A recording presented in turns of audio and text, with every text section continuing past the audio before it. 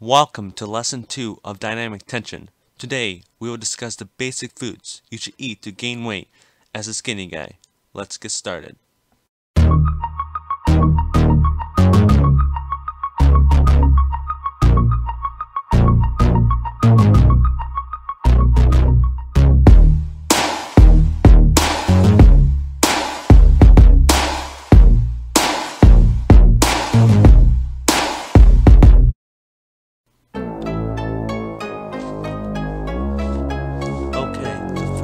Thing we're going to talk about is what you should be eating.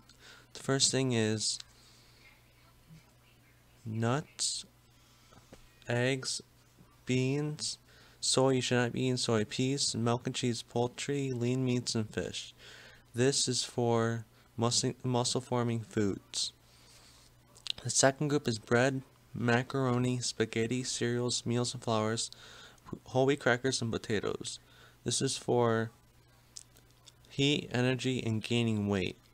The third group is green vegetables, celery and lettuce, orange and lemons, bananas, tomatoes, squash, berries, melons, herbs, root vegetables, apples and pears, and other fruits.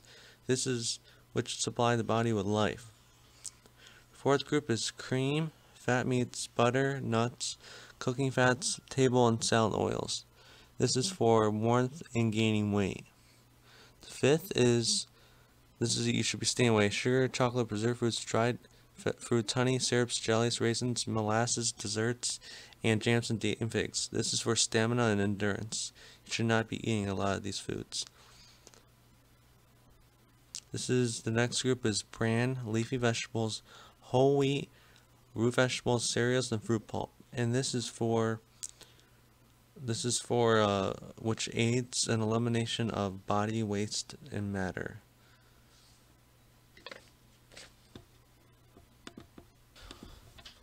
Okay, so now we're going to talk about some drinks that you should not be drinking. While on the subject of condensed foods, I must not overlook certain drinks.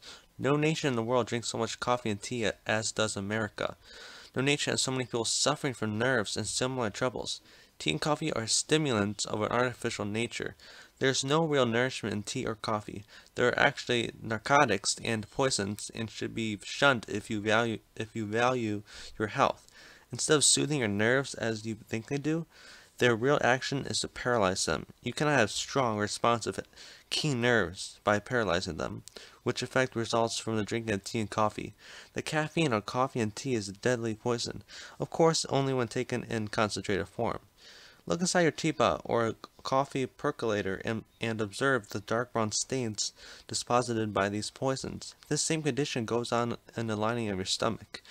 Do you think then the use of these drinks will give you health, strength, and power?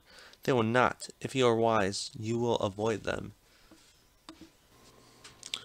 Okay, let's talk about some foods that you don't think they are hurting your stomach or health. Also to be avoided are sharp spices such as pickles, pepper, mustard, sauces, vinegar, and all similar foods.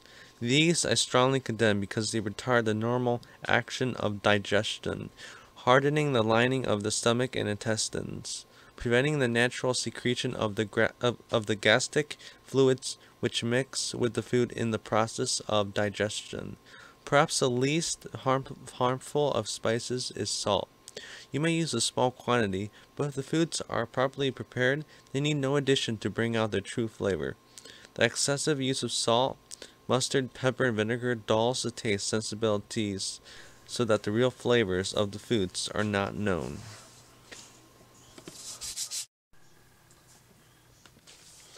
Okay, so now we're going to talk about some foods that you should be eating at a meal. At dinner, see that you get a properly balanced meal with the proteins, fats, carbohydrates, minerals, vitamins, and cellulose. This can be assured if you have a vegetable soup, lean meat, or cheese omelet, etc. Not load green vegetables, potatoes, fruit salad, or fruit of some kind. If you have potatoes, you do not need macaroni, spaghetti, rice, tapioca, or sago because they are all carbohydrates. If you have peas, you do not require beans or nuts at the same meal. It is hard, hardly likely that you will get too a great a quantity of minerals and vitamins from fruits or raw green veg, green vegetables.